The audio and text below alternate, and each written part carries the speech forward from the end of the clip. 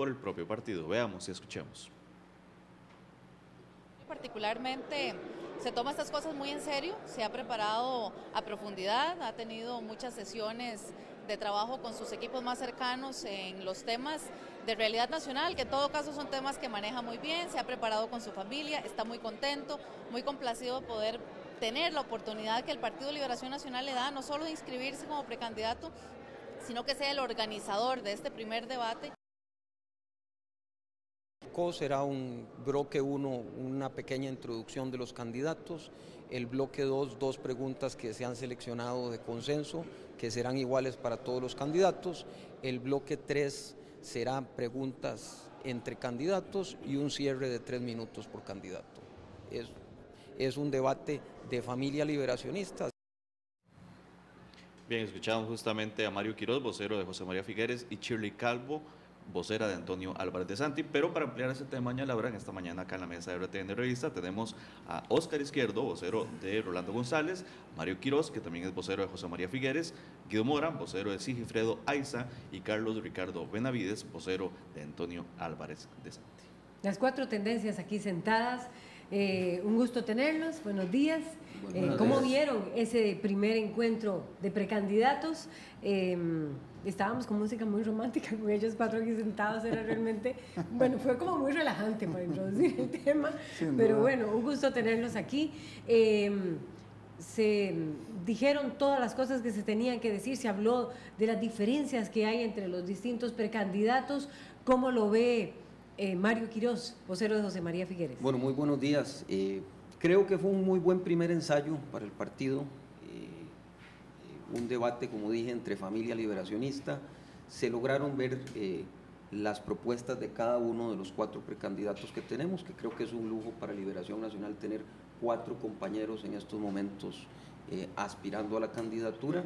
Eh, como primer ensayo esto siempre hay que ir calentando, Yo creo que conforme los debates vayan avanzando vamos a ver un poquito más afinado todo, pero creo que el, primer ensayo... ¿Cómo percibió a José María Figueres ahí? Creo que... ¿Quién dominó ese escenario ayer? Eh, bueno, creo que cada uno va a decir que el candidato respectivo... ¿Y por qué? ¿Y por qué lo habría eh, dominado? desde mi punto de vista, doña Laura, don José María fue el que presentó las propuestas más concretas, don José María eh, aspira a una Costa Rica grande, eh, sueña en grande y creo que pudo hilvanar muy bien la capacidad, el liderazgo eh, y esa visión de país que viene construyendo desde hace rato y por la que viene trabajando y que es la que lo lleva a aspirar nuevamente a la presidencia de la República. ¿Qué piensa el representante Oscar Izquierdo, vocero de Rolando González? Buenos días. Muy buenos días. Em, en primer lugar, creo que el gran ganador fue Liberación Nacional. Me parece que eh, este es el primer debate que se hace en la historia del partido. Em, creo que eh, quedó demostrado que cualquiera de los cuatro precandidatos tiene la capacidad para gobernar este país y quedó demostrado que Liberación Nacional es el gran partido. O sea, esto finalmente es un fortalecimiento de Liberación Nacional. Particularmente pienso que Rolando González eh, salió eh, muy bien librado de este debate. Me parece que hay varios factores para señalarlo. ¿verdad? Uno es que eh, en algún momento estuvieron invisibilizando la figura de Rolando González. Y creo que ayer quedó absolutamente demostrado que Rolando González tiene toda la capacidad para gobernar este país, que tiene las propuestas, tiene las ideas y tiene la forma de comunicarse con el pueblo costarricense de manera muy adecuada. Con la opinión de Carlos. Bueno, vamos, ya ahorita vamos a ir con Carlos Ricardo, pero más bien qué piensa Guido Mora, vocero de Sigifredo Aiza. Buenos días. Sí, muy buenos días. Bueno, coincido con, con Oscar, eh, definitivamente aquí el gran triunfador es el Partido de Liberación Nacional. Ayer pudimos ver a cuatro, a cuatro precandidatos que estaban conversando, que dieron a conocer sus propuestas, que plantearon un menú que no se dijeron todas las cosas. Hay ¿Cuál, muchas ¿cuál cosas. Fue ese menú? ¿Cuál fue ese menú, eh, Guido? Mire, bueno, ¿qué fue lo que se planteó ayer? lo, primero, lo primero que se planteó fueron soluciones. Eh, se atendieron algunas, se dieron algunas respuestas sobre temas relacionados con pensiones. Se va a hablar mucho sobre el tema de, de desarrollo de este país, de desempleo. Vamos a hablar también sobre, sobre ética, vamos a hablar sobre, sobre, lo que, sobre lo que está necesitando Costa Rica de Liberación Nacional. Muchos, muchos eh, costarricenses están claros en que Liberación Nacional es el partido más grande y el partido que necesita este país para gobernar, pero se han alejado del Partido de Liberación Nacional por, por algunos problemas que se han dado en el tiempo. Y Sigifredo Aiza eh, está haciendo el llamado justamente a volver a esa liberación nacional, a una liberación nacional que tiene que ver con la ética, que tiene que ver con las ideas de desarrollo, eh, de desarrollo no, no favoreciendo otros mercados, sino del desarrollo que necesita el, campesino, que necesita eh, eh, la persona que vive en los Chiles, en Guatuso o en, o en, o en la zona sur. Y eso es lo que queremos. Lo que queremos es plantear una, em, un, un modelo de desarrollo que permita que el país salga adelante, que haya, que haya empleo, que veamos hacia adentro. Y eso es un poco el mensaje que, que, pudimos encontrar ayer en Sigifredo. Justamente ayer que estuvimos en el, en el debate, eh, don Guido, nos parece interesante la estrategia de don Sigifredo Aiza. Trató de desmarcarse de los otros precandidatos diciendo que él era el que tenía más carácter social, digamos. Incluso en algún momento utilizó la etiqueta de neoliberales para los otros precandidatos. Sí, mire, es que no es muy sencillo, no es un asunto de desmarcarse.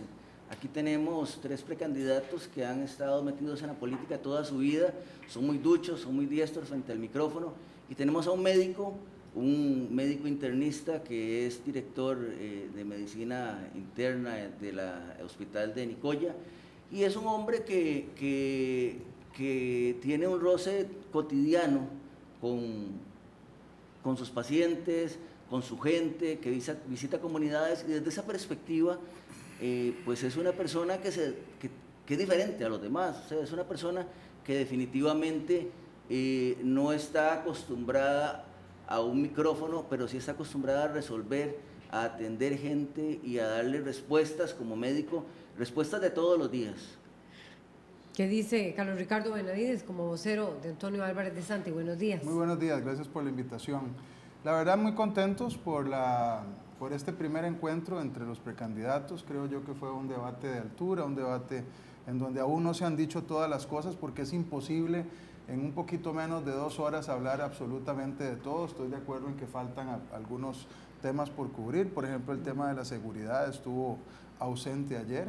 Pero en lo que a nosotros eh, refiere, realmente estamos muy contentos. Don Antonio Álvarez ha demostrado ser un candidato presidencial eh, no solo serio, sino un hombre dispuesto a plantear las soluciones que el país requiere para desentrabar el país de una manera realizable. Y yo creo que en eso además hubo un contraste. Escuchamos algunas posiciones de algunos compañeros que podríamos respetar en la forma, pero que nos parecieron que en el fondo son irrealizables. Don Antonio está planteando ideas concretas que el país necesita para no volverse a ir con todo como se fue hace tres años, sino más bien eh, lograr encontrar en el Partido Liberación Nacional respuesta concreta y retomar algunos grandes proyectos que se han dejado de lado y programas que tan exitosamente se eh, establecieron eh, en el país durante las administraciones de Liberación Nacional. Apeló muchísimo eh, Álvarez de Santi el día de ayer al tema de su experiencia como negociador. Mencionó en un momento su experiencia en la Asamblea Legislativa, la negociación con fracciones, como que ese fue el caballito de batalla en una parte del debate de Antonio Álvarez. Particularmente don Antonio mencionó su capacidad negociadora, la cual es cierta, y dio un ejemplo concreto, que fue la ley para recortar las pensiones de lujo. Se hizo eh, bajo la eh, presidencia de don Antonio Álvarez de Santi, esa eh, polémica ley que recortó los, las pensiones de lujo, particularmente de algunos diputados y parientes, exdiputados, parientes que quedaban ahí, que incluso motivaron acciones de inconstitucionalidad contra esa ley fue bajo la presidencia de don Antonio que logró poner de acuerdo o ayudó a poner de acuerdo a nueve fracciones y efectivamente creo, creemos que ese es un gran activo eh, eh, y lo va a hacer como presidente don Antonio. La realidad de Costa Rica es multipartidista y pensamos además que lo va a seguir siendo y entonces quien esté en la silla presidencial tiene que tener una enorme capacidad negociadora y esa es eh, justamente la figura de Antonio Álvarez de Santos. Pero también tuvo que responder a algunos ataques muy concretos, el tema de que abandonó la agrupación durante un tiempo, fue un ataque que fue bastante reiterativo de varios candidatos también. Sí, sí, sí, bueno, yo creo que eso es eso es algo que él ha contestado eh, de manera reiterada. Don Antonio se fue en un marco en donde se fueron también miles de liberacionistas eh, que estaban decepcionados por temas de corrupción que allá eh, por el año 2005 eh, ensuciaron, digamos, al partido y que en donde algunas figuras no tuvieron una respuesta adecuada, don Antonio se fue en protesta por esa situación, luego volvió reconociendo que era un error porque ese tema de la corrupción es mejor combatirlo dentro del partido y efectivamente lo ha venido eh, haciendo, regresó a Liberación Nacional y me parece que no solo lo acogieron eh, los eh, compañeros liberacionistas como tiene que ser, sino que incluso le han dado la confianza para ser el presidente de la Asamblea Legislativa con los votos por unanimidad de toda la fracción liberacionista, incluido a don Rolando González, que también es precandidato. ¿Cómo, bueno, los cuestionamientos también se dieron para para el precandidato José María Figueres, pero más bien quisiera como que ustedes eh, intervinieran eh, sobre si esas respuestas lograron satisfacer, eh, creen ustedes al auditorio ayer, porque bueno, el auditorio que estaba allí presente, pero también se conectaron muchísimo ayer, en las redes sociales. Ayer en el auditorio había unas 900 personas, según nos dijeron. Y en redes llegó hasta mil personas, me parece, en 1500, personas en algún momento. Eh, fueron suficientes, los argumentos fueron suficientes, eh, los temas tratados, decía Carlos Ricardo que no se abordó el de seguridad, por ejemplo, eh, ¿por qué se concentraron solo en ciertos temas?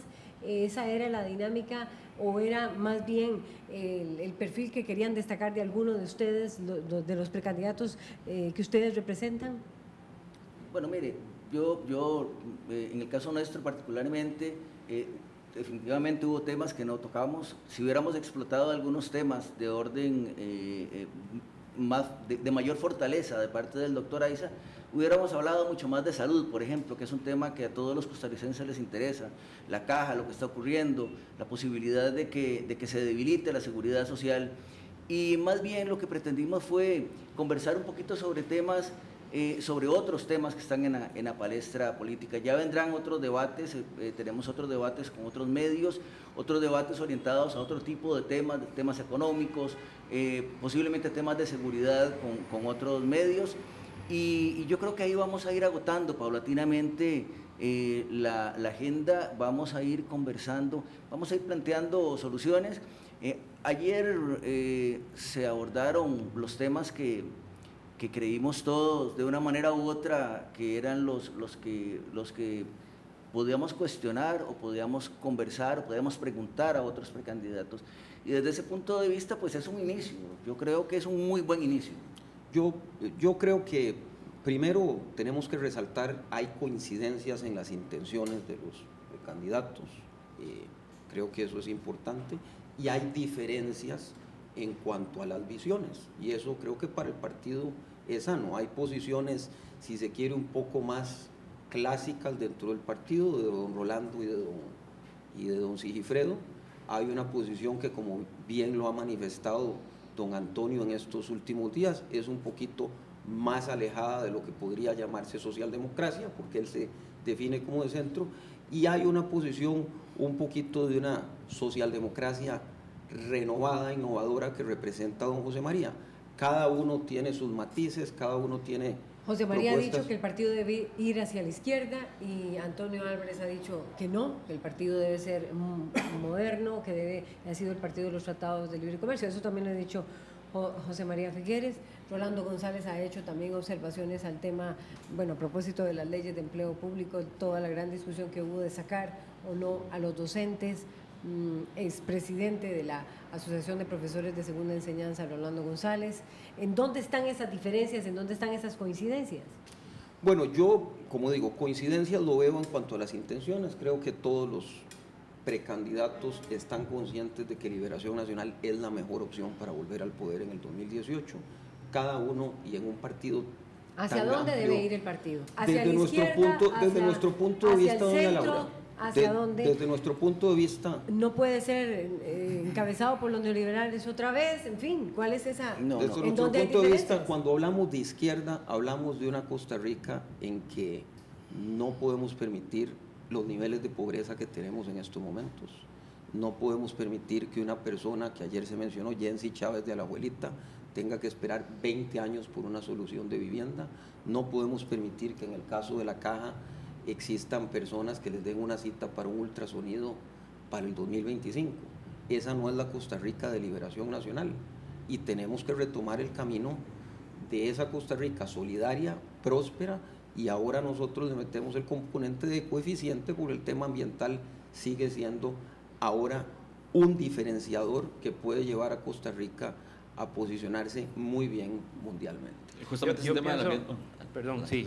Yo pienso que hay, que hay un tema central. Vamos a ver.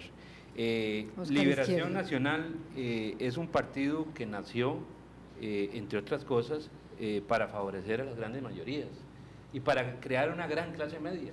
Es decir, para eliminar esas diferencias sustanciales que existían. Yo creo que esa razón de ser de liberación sigue siendo la misma. A mí me parece que, que, en liberación, nadie que milite en liberación nacional no puede estar pensando en que estemos tranquilos mientras haya más de un millón de personas en niveles de pobreza. Pero eso está hace rato, Oscar liberación nacional. Hace, hace veintipico de años está en un nivel de 20% de pobreza y eso se lo han achacado a liberación nacional. También formamos parte de eso. Entonces, ¿cuál es el problema? Bueno, que liberación nacional tiene que reencontrarse consigo mismo Liberación Nacional tiene que redefinir ese norte para volver a definir cuál es el objetivo que tiene como partido, pero además lograr que la gente vuelva a creer en Liberación Nacional, que nos hemos alejado de ese principio y por eso han dejado de creer en Liberación Nacional. Entonces ese reencuentro de Liberación Nacional va más allá del discurso de decir que estamos a favor o de procurar resolver el problema de la, de la miseria en este país, es el cómo vamos a hacer para que salgamos eh, o que salga ese millón de personas de, de, la, de, la, situación económica en que se encuentran. Entonces, el, discurso de que queremos hacerlo, eso ya todos lo sabemos. Aquí el tema central es el cómo resolverlo. Mira, en el caso de nosotros, eh, tengo que hablar por la tendencia de don Antonio, ni izquierdas ni derechas. Liberación Nacional ha sido siempre un partido de centro, y en la propuesta nuestra nos vamos a mantener ahí. Don Antonio ha insistido que no hay mejor forma de ayudarle a las familias a salir de la pobreza que un buen empleo. Es la Aunque forma más digna. al Internacional Socialista, ¿verdad? Liberación. No importa. Eh, al Internacional Socialista pertenecemos muchos partidos modernos de la socialdemocracia que no creemos ni en izquierdas extremas ni en derechas extremas. Estamos ahí justamente porque creemos que la empresa privada, con ayuda del Estado, puede crear los empleos que el país necesita y eso justamente es lo que estamos hablando. Empleo, empleo y más empleo es la propuesta, es parte de la propuesta de don Antonio, pero también asuntos que tienen que ver con la vida cotidiana que mejoran la vida de la gente, como desentrabar la caja costarricense del Seguro Social, desprenderse de las listas de espera que hoy están agobiando a miles de personas que piden una cita y son atendidas dos años después. Creemos que eso se puede evitar eh, duplicando, eh, haciendo una jornada vespertina, duplicando el horario de atención, no solo eh, en consulta externa, sino también para operaciones y atención con los especialistas. Entrarle al tema de la mujer, don Antonio, por cierto, fue el único candidato o precandidato que ayer habló del de, el tema de la equidad de género.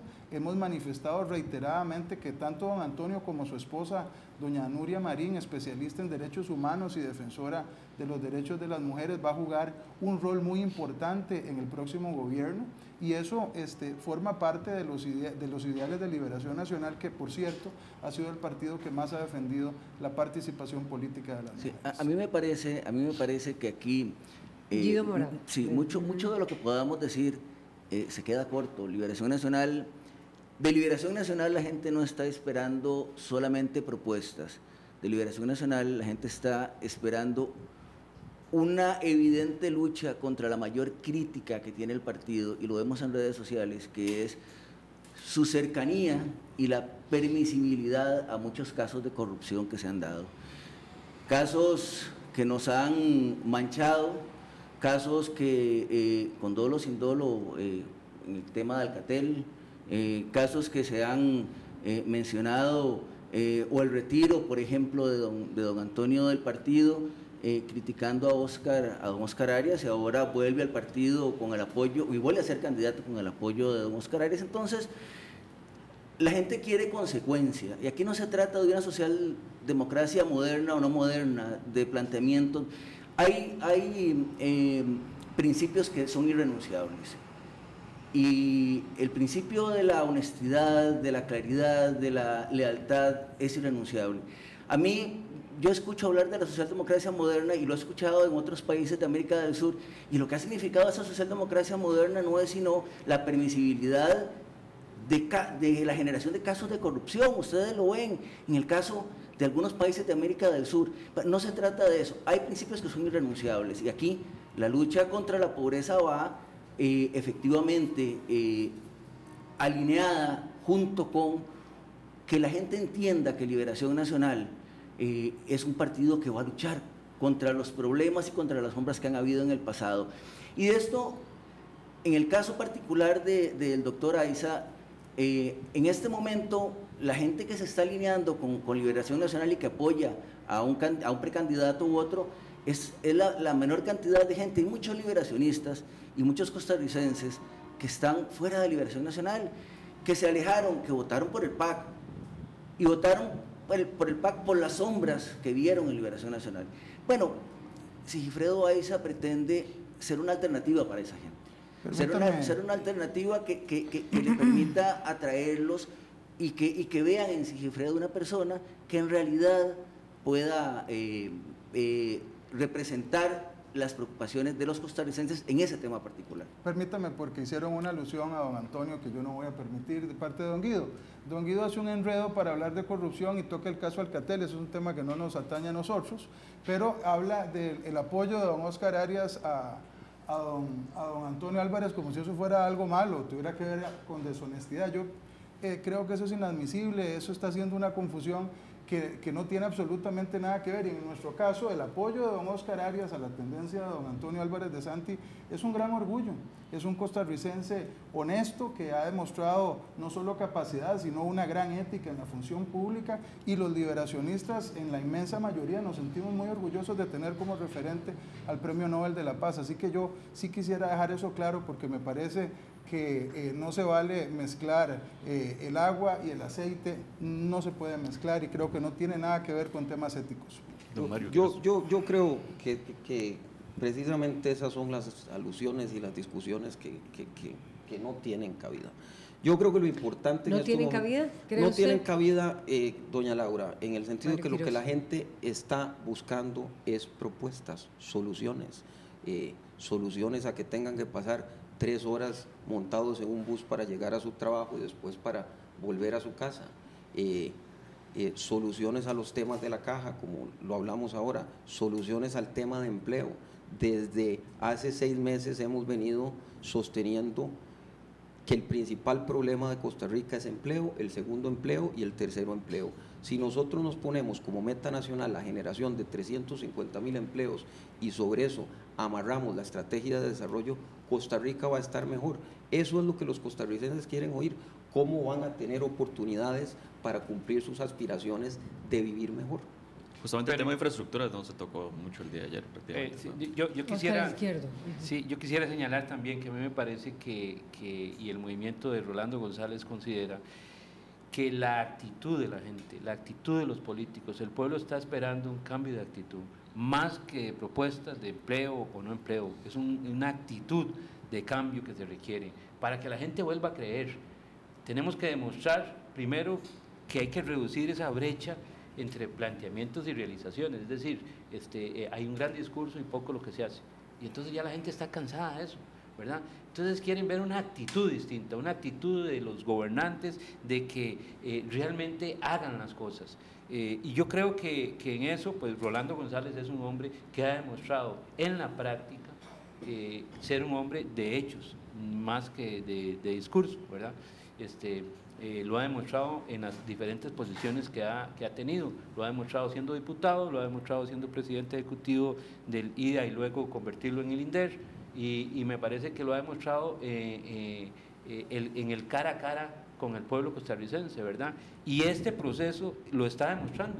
Es decir, una campaña sin recursos, sin esa danza de los millones que, él ha llamado, me parece que ha logrado visibilizarse y, creo que ayer en el debate, y hoy estamos aquí analizando el debate, creo que ayer en el debate quedó claramente demostrado que Rolando González es un hombre con capacidad para gobernar este país.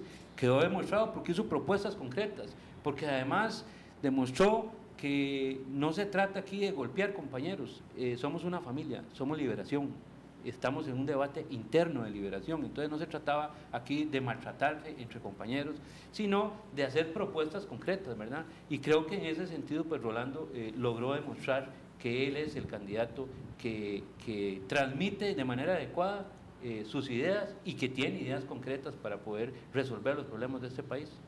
Sobre el tema del empleo, ¿cuál es la...? Sí, eh, efectivamente estamos estamos eh, en, una discusión entre, entre compañeros, entre, entre, hermanos de partido. Sí es muy importante y esto, es que yo, yo vengo hablando de esto hace rato dentro de, con alguna gente de Liberación. Sí es importante que Liberación vuelva a tener la confianza del, costarricense. Es que, es que, perdónenme, no, los costarricenses no creen en los partidos políticos, no creen en los políticos. Y es por la inconsistencia, es por, por, por, la falta de compromiso, es porque no hay realidades, es porque este, este mismo, en este mismo gobierno, el presidente vino a decir y a prometer muchas cosas y suma a que muchas de esas cosas no las ha cumplido. Bueno, ese es un problema político, ese es un problema que tiene la política a nivel nacional y que no ha superado. Y no ha superado porque, porque porque mucha de la gente que ha estado en política muchos años lo han visto muchas veces, ha dicho muchas cosas, eh, han habido muchas promesas, algunas veces promesas que son eh, estratosféricas eh, y que cuesta mucho convertirlas en realidad. necesitamos, necesitamos que la gente justamente, esto que dice, que dice ahora Mario, efectivamente necesitamos realizaciones concretas, pero eso lo, requerimos apegado a las necesidades de la gente, con soluciones que le lleguen a la gente directamente, no, no con promesas. Es que aquí el, político tiene que volver a generar confianza y tiene que volver a generar credibilidad. Y ese es uno de los grandes retos en Liberación. Es que ustedes en redes sociales pueden ver lo que la gente piensa del Partido de Liberación Nacional y de los políticos en general. Hay que luchar en contra de eso. Y creo que es un gran reto que tenemos todos como, como precandidatos como políticos, pero además como liberacionistas, porque creemos efectivamente que Liberación Nacional es el partido que necesita este país para gobernar, con cualquiera de los cuatro precandidatos, y eso, y eso hay que tenerlo claro. Yo considero que los cuatro precandidatos tienen la capacidad para llevar adelante un, gobierno eh, de, en Costa Rica y un gobierno de liberación nacional como lo necesita este país. Tema ausente, decía César, infraestructura no se abordó. a propósito de que estaba oyendo a Mario Quiroz, eh, vocero de José María Figueres, que, eh, bueno, que hay que responder con soluciones, con propuestas. Guido más bien planteaba mm, bueno, los, las dudas que han habido en torno a la precandidatura de José María Figueres y el tema de Alcatel, e igualmente el apoyo de Oscar Arias, Antonio Álvarez, no lo escuché decir nada referente a Rolando González, pero bueno, tendrán los precandidatos que responder una y otra vez sobre ese pasado o sobre esos apoyos? ¿Cómo va a ser Liberación eh, para enfrentar eso? Yo creo, la verdad, esto y finalmente el tema ético em, que está de por medio. Esto es política, creo que, hay, hay gente que su campaña la estará basando en tratar de sacar esos temas constantemente. Nosotros hemos sido claros, don José María ha sido claro en sus explicaciones, ha enfrentado, ha dado la cara, yo creo que cuando uno ve el, cambio que ha habido en la gente conforme ha ido entendiendo esas explicaciones y se ha dado cuenta lo que hay, eh, lo que hay atrás en cuanto a intenciones más bien de política tradicional, eh, eh, la verdad es que ya hemos logrado poder plantear las soluciones y poder desarrollar las propuestas. ¿Y serán suficientes, Mario Quiroz? Probablemente para alguna gente retomando lo que decía Guido Probablemente para alguna gente no, doña Laura. En las redes sociales que en este momento están jugando un papel fundamental. O sea, ya, ayer 1.500 personas lo siguieron más que las que estaban allí sentadas. Ningún canal prácticamente lo transmitió.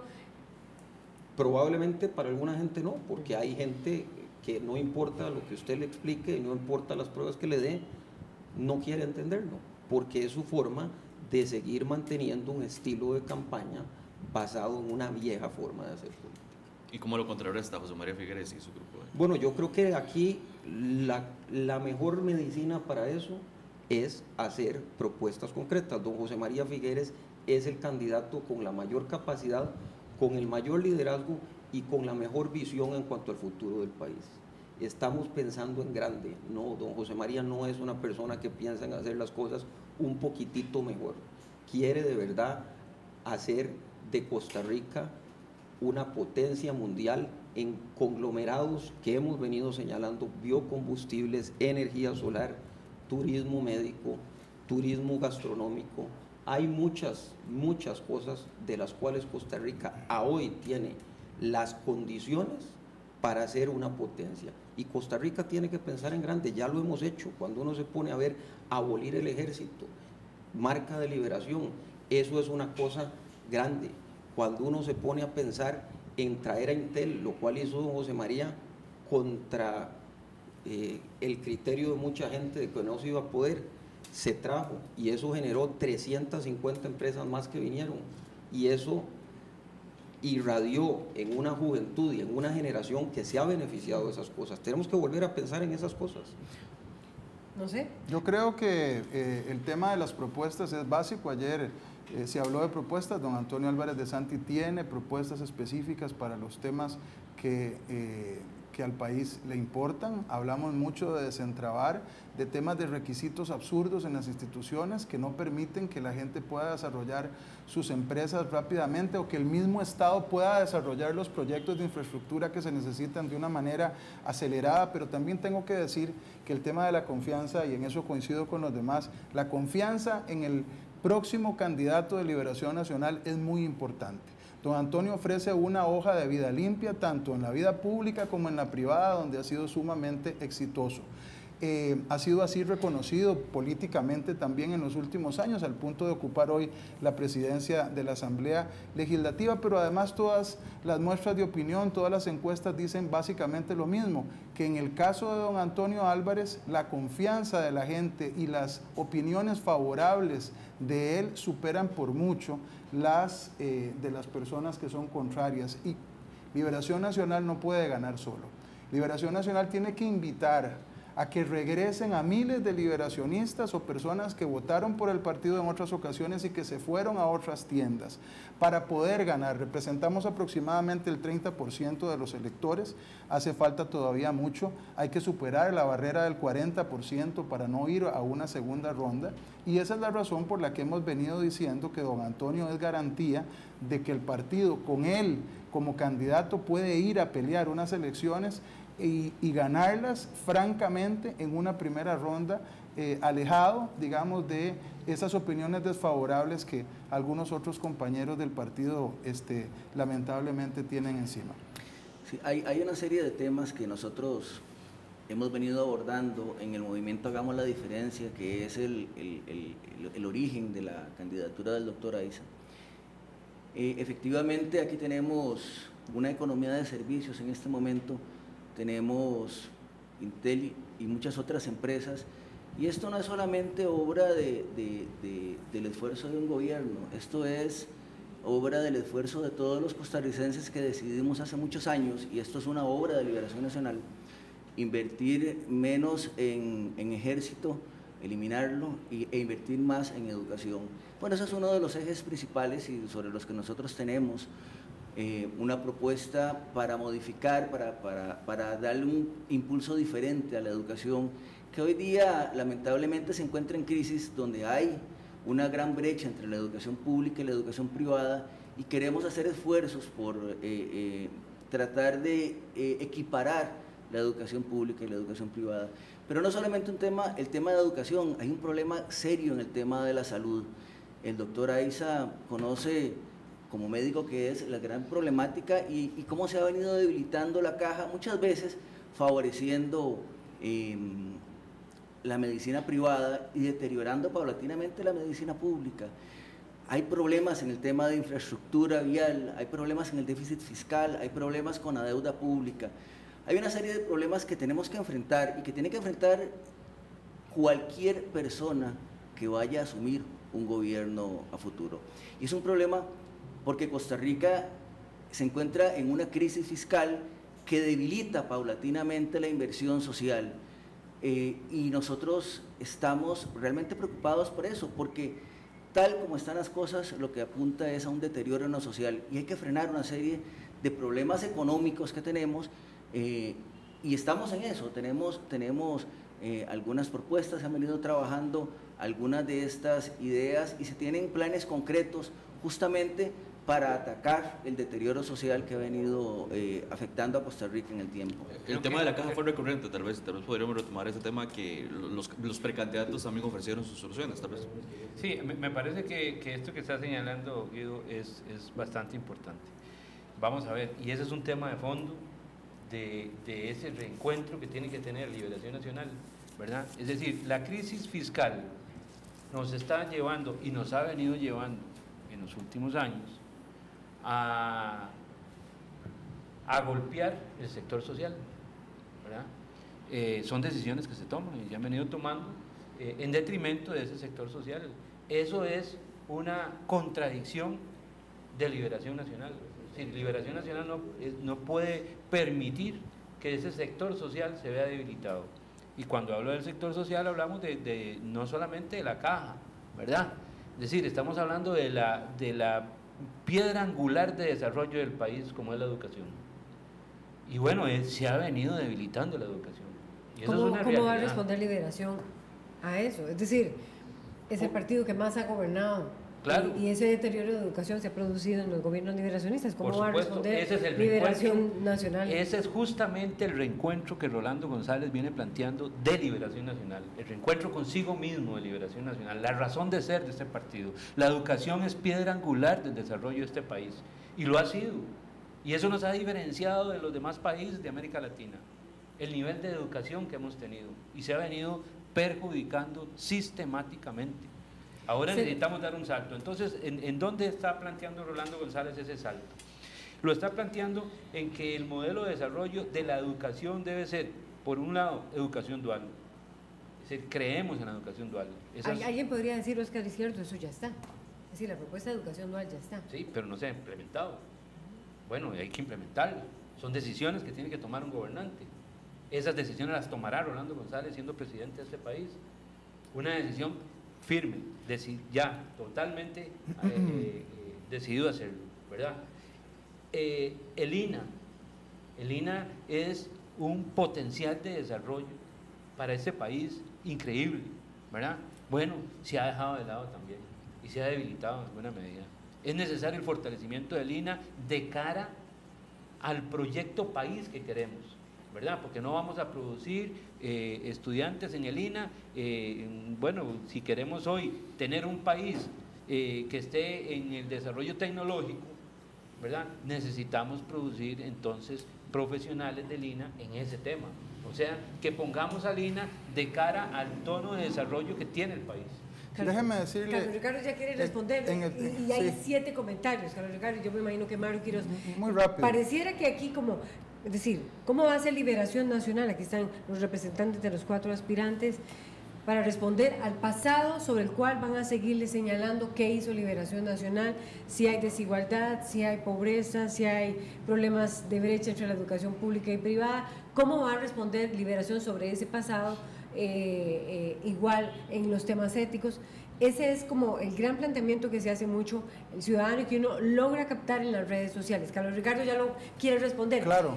De, eh, agreguemos los comentarios que está haciendo la gente y vamos con ustedes. Así, de hecho, hay, hay, una pregunta en ese primer comentario que tenemos acá en redes sociales. Es la de Varo que dice. Viendo la posibilidad de algunos de ganar, su participación será para cuotas a futuro, para diputaciones y puestos. Dice Quique Acuña, correcto, dice Quique Acuña en el otro comentario. Ahí veo a dos de los mismos que tienen a este país quebrado. Luis Carlos Castro Herrera dice lo siguiente. Analizan qué pellizcos en los, analizan qué pellizcos en los cachetes, nadie se hizo daño. Al final todo, todos, cuando Liberación quede en el poder, toman su tajada.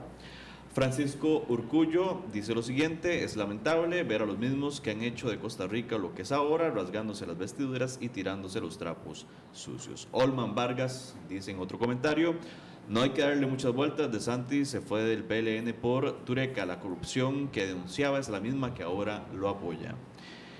Y Paul Jasinski dice, por favor, ¿dónde creen que viven estos señores? Un presidente de cuatro años, una regla, una corrupción de 40. Ni Dios. Y un comentario más de Ernesto Echavarría. El pueblo está cansado de la demagogia política y de promesas falsas. PLN no está exento son los comentarios. Reacciones, Carlos Ricardo. Bueno, miren, el tema de educación, lo primero que yo tengo que decir es que no hay ningún partido que haya hecho tanto por la educación de este país como Liberación Nacional y de eso nos sentimos muy orgullosos. A Liberación Nacional se le pueden achacar omisiones o errores, pero el pueblo lo ha llevado al poder más que a cualquier otro partido del país porque hemos sido el partido con la mayor cantidad de aciertos y vamos a volver a retomarlos. Estábamos hablando de educación. Dejamos listo un fideicomiso en el gobierno anterior para construir 123 centros educativos y este gobierno en dos años no ha podido, en tres años no ha podido construir más que dos pequeños proyectos. Eso no solo es inutilidad y chambonada, sino una falta completa a las promesas de campaña de un partido de acción ciudadana que está lleno de liberacionistas y de gente de la Unidad Social Cristiana y de otros partidos que se fueron alguna vez de Liberación Nacional, se envuelven en una bandera de novedad y salen al público diciéndole, yo soy nuevo, vote por mí.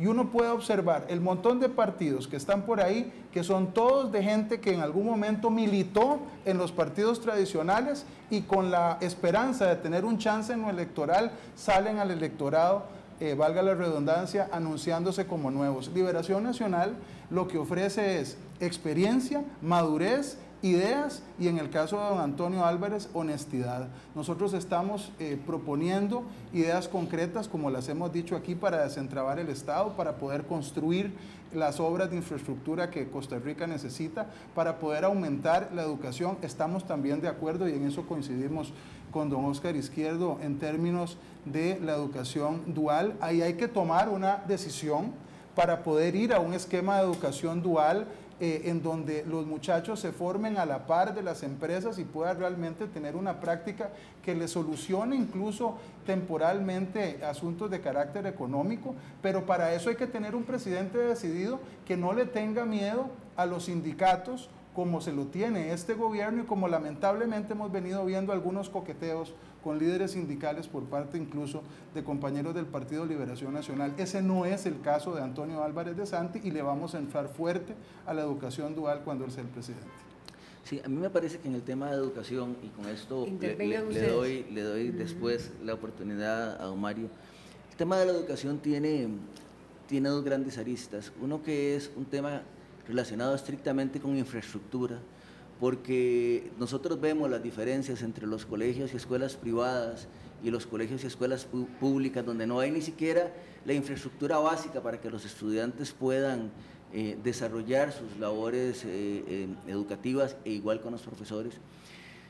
Vemos problemas, por otra parte, con, con una, mm, educación que tiene muy malos resultados y eso las pruebas que, se, se, hacen para evaluación de la educación no lo indican, la educación pública lamentablemente pierde las, las pruebas, ¿verdad?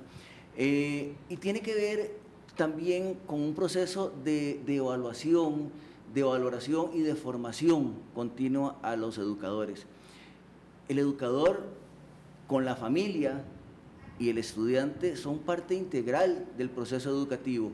Ahí hay que volver a trabajar, hay que volver a integrarlos y esto eh, tiene que hacerse con, un proceso eh, muy serio, tratando justamente de ver qué tipo, cuál es el tipo de profesional que requiere este país. Eh, En esto creo que Liberación tiene que volver a trabajar. Este es, como lo decía ahora don Oscar, me parece el punto angular de lo que ha hecho este país diferente. Y cuidado si no tiene que enfrentar más bien otros temas como se debe mantener o no el bachillerato, se debe eh, mantener de, de eso ahora hemos que conversado también la, un la- poquitito la Organización nosotros. Mundial de la Salud dijo son sirven o no sirven las tareas que propuesto que a propósito eh, Oscar López lo ha, lo ha convertido en una propuesta, pero bueno, esos son los grandes temas. ¿Es este el modelo que hay que seguir o es el de Singapur o es el de, Dina- el de Dinamarca? Eh, En eso sé que Rolando González como educador, pero lo que quiero decirles es, eh, se vio eso ayer en el debate, Ust- ustedes pudieron intercambiar, ustedes vieron eso en los candidatos, eh, no pudieron intercambiar esas diferencias, esas son las grandes decisiones y que probablemente está esperando la gente eh, que tengan los precandidatos. Mario Quiroz, Decía don Pepe que si el desarrollo fuera fácil, todos los países serían desarrollados. Liberación Nacional, yo creo que es el que ha llevado el peso desde 1948 del desarrollo de este país. Y gran parte de los aciertos son de liberación y también tenemos que reconocer que gran parte de los errores, y eso no hay ninguna, no se equivoca el que no hace, y Liberación Nacional ha hecho, y ha hecho mucho por este país. No hay una sola obra importante de este país que no tenga el, el sello de una u otra manera de Liberación Nacional. Temas que nos quedan, nos quedan en el proceso, estamos a 47 días de la Convención Nacional, tendremos mucho tiempo de debatir. Por la dinámica del debate no se pueden cubrir todos los temas, pero estoy seguro que en estos 47 días seguirán saliendo más propuestas de todos los precandidatos en educación, en infraestructura, profundizar en salud, el tema social, que es algo que creo que es una coincidencia en cuanto a preocupación de todos, y que eso ojalá podamos irlo plasmando en acuerdos concretos de ir avanzando proyectos como partido, porque no podemos esperarnos y sujetar la política solo a lo electoral.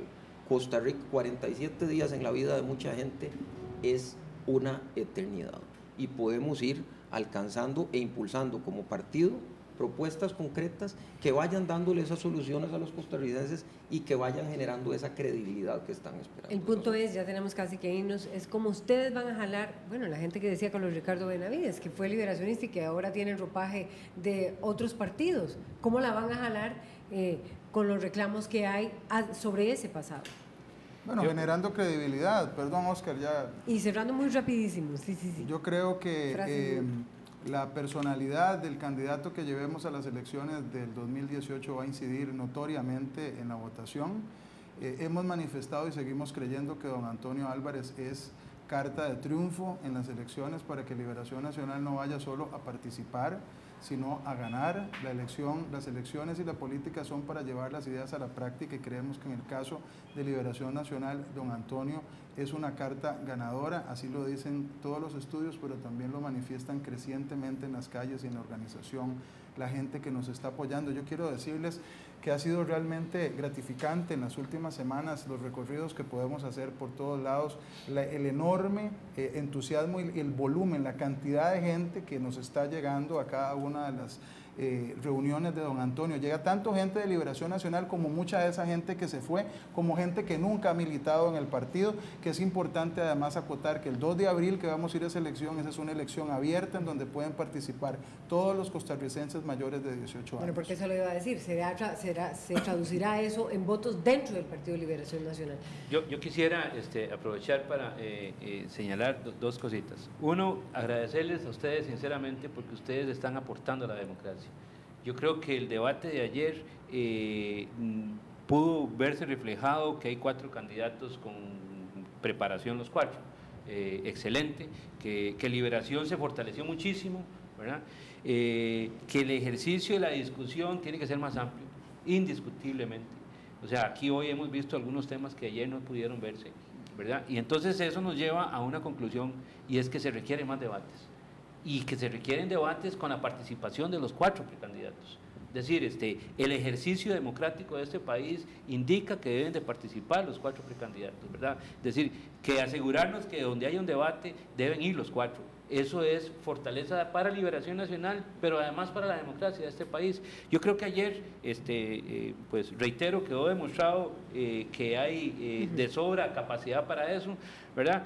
Pero además también, este, igual como lo señala Carlos Ricardo, en el caso de, de Rolando, hemos logrado en el cara a cara ver cómo hay una respuesta muy positiva de la gente, ¿verdad?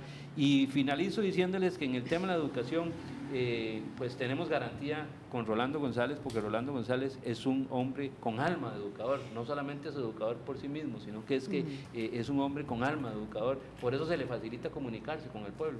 Y veremos eh, si vienen también los precandidatos al que vamos a hacer aquí en RTN, revista muy diferente, mucho más espontáneo sobre y verlos a, a, los cuatro, porque la invitación será para los cuatro efectivamente, sin ninguna discriminación. Les agradecemos muchísimo habernos acompañado esta mañana. Son más, son 50 minutos de análisis. Vamos a una pausa, ya venimos con los deportes, César. Muchas gracias.